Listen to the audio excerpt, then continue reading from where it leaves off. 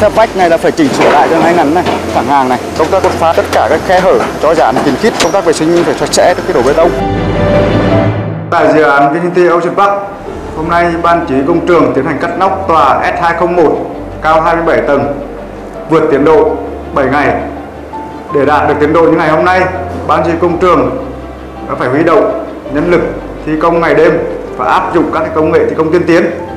Trong đó phải kể đến công nghệ gang phong gang có nhiều ưu điểm vượt trội so với phương pháp thi công truyền thống.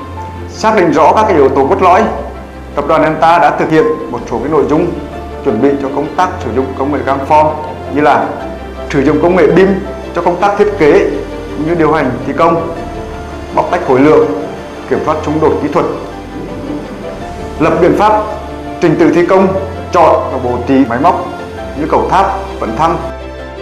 Công tác huấn luyện an toàn đảm bảo cho cán bộ công nhân tham gia thực hiện theo công nghệ thi công mới.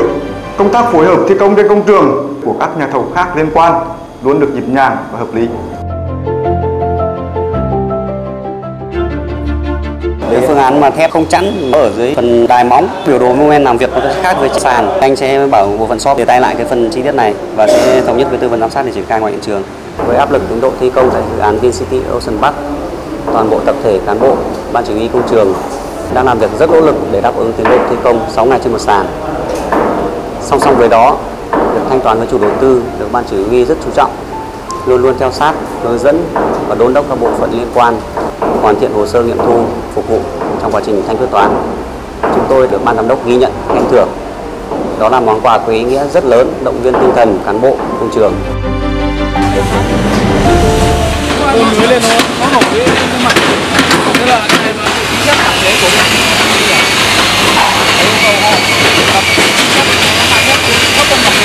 trong quá trình thi công, Ban chỉ huy công trường cũng như Ban an toàn đã kết hợp và đưa ra giải pháp vệ sinh lưới gang phong mặt ngoài bằng hệ thống máy bơm áp lực tự động.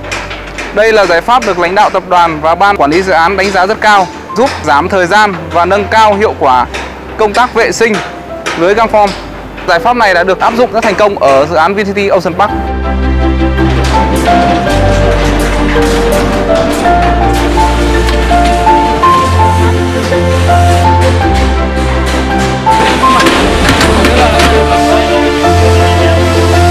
Vinhome Ocean Park là một dự án rất lớn của chủ đầu tư thuộc tập đoàn Vingroup. Đây là dự án đòi hỏi cao về tiến độ, về chất lượng. Tập đoàn Delta đã huy động mọi nguồn lực về à, máy móc, trang thiết bị, con người, áp dụng công nghệ trong quá trình thi công và đặc biệt là sự nỗ lực của tập thể cán bộ công nhân viên.